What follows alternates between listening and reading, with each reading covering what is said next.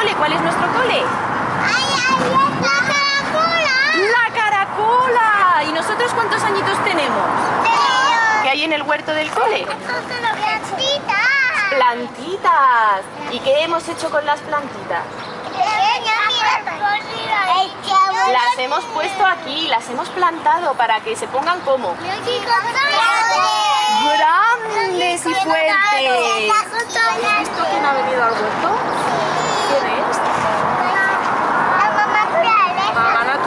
¿Y mamá naturaleza que nos enseña cada vez que viene? ¿Qué nos cuenta?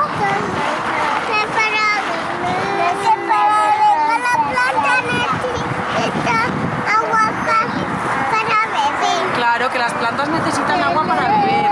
Mamá naturaleza y la arena para comer. Mamá naturaleza nos enseña cómo cuidar las plantas del huerto siempre que viene, ¿verdad? Es la que nos ayuda a plantar las cositas, a regar y para que todo crezca muy bien. Chicos, ¿y qué cosas necesitan las plantitas para crecer muy fuertes? Agua. Agua. ¿Qué más? Agua. Arena.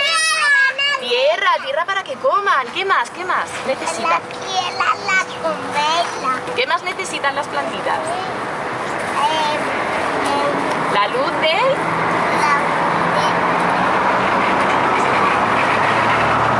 Solito. Del solito, el sol. ¿Y qué otra cosa necesitan? Que lo vemos, que lo vemos con nuestros molinillos. ¿Qué otra cosa necesitan? El fresquito, el viento. ¿Y cómo vemos cuando hay viento? ¿Con qué lo vemos? Con los palitos de viento y, y los molinillos. A ver, vamos a levantar a ver si hay vientecito.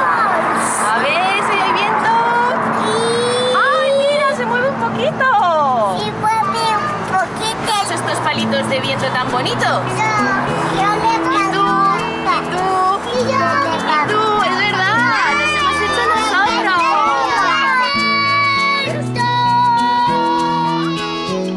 Creemos que esta es la mejor manera de que sepáis cómo es nuestro huerto, contado por ellos, por nuestros peques, los que lo disfrutan y lo cuidan.